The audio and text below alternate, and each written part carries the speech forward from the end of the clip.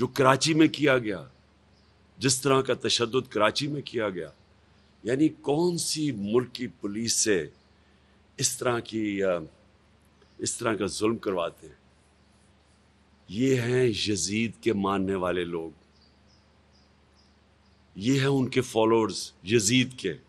राना सनाउल्ला शबाज शरीफ, हमज़ा शरीफ ये वो लोग हैं, हम, शबाज शरीफ और राना सनाउल्ला अगर इस मुल्क का इंसाफ का निज़ाम इनको सजाएँ देता जब इन्होंने मॉडल टाउन में चौदह लोगों को सबके सामने, टीवी के सामने गोलियाँ मारी और कुछ साठ लोगों को गोलियाँ लगी थी। चौदह लोग मारे गए थे। अगर तब सजा मिल जाती तो शायद इस हट दर्मी से ये इस तरह का जुल्म ना करते जो सारी कौम ने देखा। कोई ये ना समझे कि कोई हमारी एक कमज़ोरी थी। और ये भी कोई ना समझे, कोई डील हुई। ये भी जी, मैं बातें सुन रहा हूँ, क्योंकि कोई इस्टेब्लिशमेंट से डील हुई है। मेरी कोई किसी से डील नहीं हुई।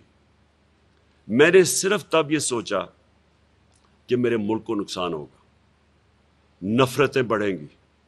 इदारों के बीच में और अवाम और इदारों के बीच में फासले बढ़ेंगे। ये हमारे मुल्क की कम, मुल्क को नुकसान है, दुश्मनों का फ़ायदा है। ये सिर्फ़ एक चीज़ थी जिसने मुझे उस रोका वहाँ बैठने से। और मैं ये वाज कर दूँ कि अगर किसी का ख्याल है, ये इनको खुशफहमी है कि हम अब आराम से कोई इनसे नगोशिएट करेंगे और इसको तस्लीम कर लेंगे, इस इम्पोर्टेड हुकूमत को तस्लीम कर लेंगे, किसी कोई गलत फहमी में ना रहे। मैंने ये फैसला किया हुआ है कि मैं इसको जहाद समझता हूँ मैं जब तक ज़िंदा हूँ, मैं इसके सामने खड़ा हूँगा मुझे किसी चीज़ की ना कोई फ़िक्र है, ना परवाह है ज़ाती तौर पे। सिर्फ़ अपने मुल्क की फ़िक्र है। तो लिहाजा, मैं आज ये वाजे कर दूँ कि हम छः दिन दे रहे हैं। उसके अंदर अगर इन्होंने ना अनाउंस किया, इन्होंने ना वाज तौर पे अनाउंस किया कि कब ये डेट अनाउंस करेंगे इलेक्शन की इन्होंने वाज तौर पे ये ना बताया कि असम्बलीज डिज़ोल्व करके डेट कब अनाउंस करेंगे ये मैं अब फिर से निकलूँगा और मैं आपको वाज कर दूँ कि अब हम निकलेंगे तैयारी करके। हमारी किसी की तैयारी नहीं थी। जिस तरह के पुलिस का हमारे ऊपर हमला हुआ, कोई भी तैयार नहीं था उसके लिए। हम सारे जब ख़ास तौर पे जब सुप्रीम कोर्ट का एक ऑर्डर चला जब हमने तो सोशल मीडिया के ऊपर ही देखा। हम सबको ये लग गया कि अब रास्ते खुल जाएँगे और अब कोई मसला पुलिस का नहीं होगा। लिहाजा कोई तैयारी नहीं थी। जो डी चौक में भी लोग थे अच्छा डी चौक में ये कहते हैं कि जी रेड जोन में चले गए। लोगों को क्या पता इन्होंने हमसे परमिशन मांग रहे थे कश्मीर रोड की या श्रीनगर हाईवे की। हमें परमिशन ही नहीं मिल रही थी। तो हमने क्या लोगों को बताते हैं? एक ही चीज़ सारे जो धरने में लोग जानते थे वो डी चौक था। इसलिए हमने डी चौक का एक पॉइंट तो बताना था। उसके बाद कम्युनिकेशन इतने डरे हुए थे, ये इतने बुजदल करप्ट लोग हमेशा बुजदल होते हैं। सारा मीडिया चैनल के ऊपर कभी वो ए आर वाई को कभी करें, क्योंकि उधर से लोग इन्फॉर्मेशन ले रहे थे। बाकी चैनल्स पे प्रेशर डाला हुआ था। इंटरनेट स्लो डाउन कर दिया। किसी को पता ही नहीं चल रहा था क्या होगा। कंफ्यूजन मची हुई थी। पार्टी के भी बड़े मेरे लोग मायूस। अंदर से हमारे कारकुन, कि आपने क्यों नहीं वहाँ जाके, क्यों नहीं वहाँ बैठ गए? मैं आपको यकीन दिलाता हूँ कि मैं वो आदमी हूँ जो कि 126 दिन धरने में बैठा हूँ। मेरे लिए इतना देर बैठना, जितनी देर ये घुटने टेकती है गवर्नमेंट मेरे लिए क्या मुश्किल था?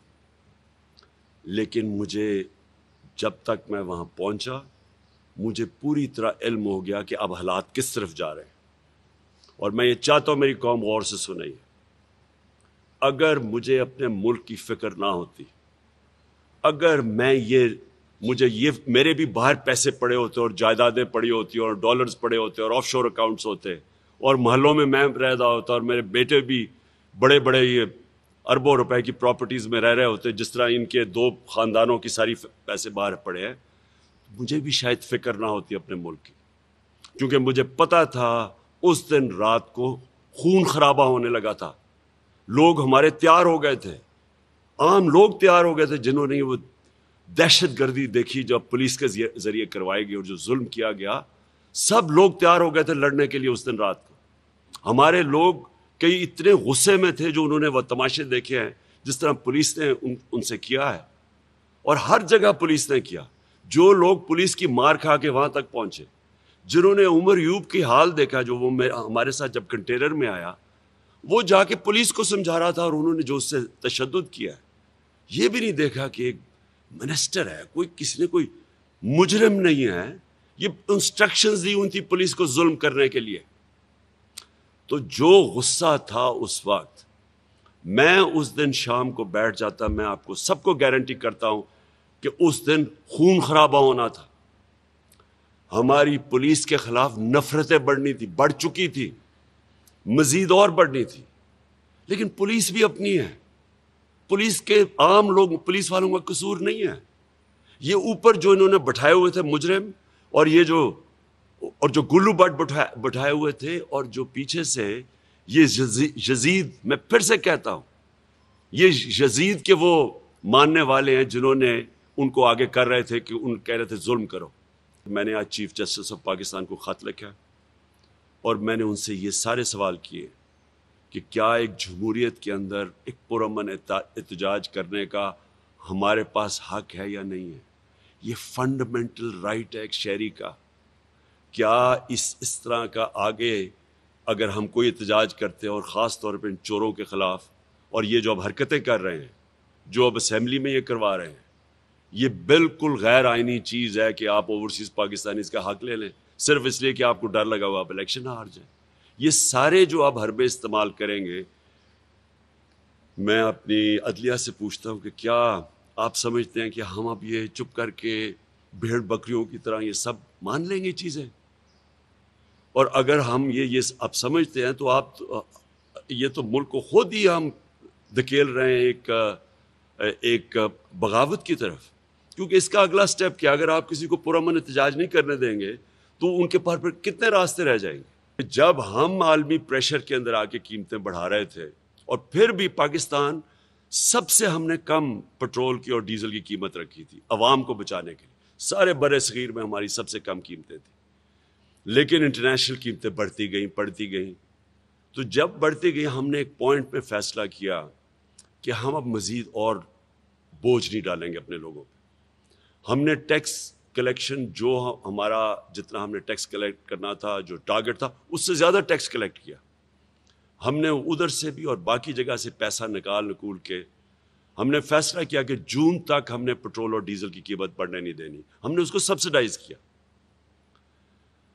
हम, हमने इसलिए किया अपने आवाम के ऊपर ये जो बोझ पड़ता जा रहा था ये बचाने के लिए और जब आप डीजल और पेट्रोल की कीमत बढ़ाते हैं तो सब कुछ बढ़ जाता है। पहले तो मैं ये वाजे कर दूँ कि रूस सारे हमारे जितने भी स्टेक होल्डर्स थे फॉरेन ऑफ़िस था, ये अस्करी क्यादत थी, सबकी मुशावरत से मैं गया था। और मेरा मकसद रूस में जो हम, हमने जो उनसे डील्स की थी, सबसे बड़ा मकसद ये था कि हम लोगों के ऊपर रूस उस वक्त तीस फ़ीसद, और अभी भी अगर ये चाहें, हिंदुस्तान ने रूस से तीस फ़ीसद कम कीमत पे पे ख़रीदा है तेल। हमारे, हम भी वही डील कर रहे थे।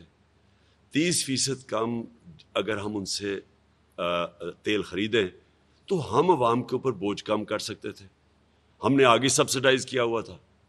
हिंदुस्तान ने कम कर दिया बोझ, उन्होंने कीमतें पता नहीं पंद्रह या पच्चीस रुपए उन्होंने अपनी डीजल और पेट्रोल की कीमत कम कर दी क्योंकि वो रूस से ले रहे हैं।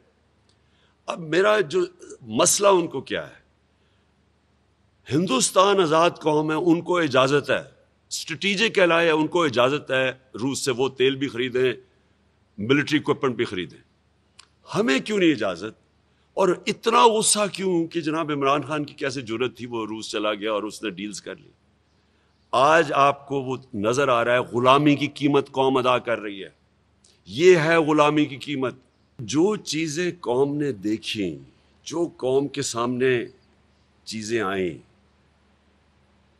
दो शहीद फैसल अब्बास और फिर से मैं कहता हूँ, सईद अहमद जान, इनको वो रास्ते में, और ख़ास तौर पर फैसल अब्बास को तो पुल से फेंका गया रावी के नीचे से। तो जो फिर औरतों से किया गया, बहनों से किया गया, बच्चों से किया गया, बेटियों से किया गया, वकीलों से किया गया, जो लाहौर में बस में वकील जा रहे थे, उनको निकाल निकाल के जिस तरह पुलिस ने मारा।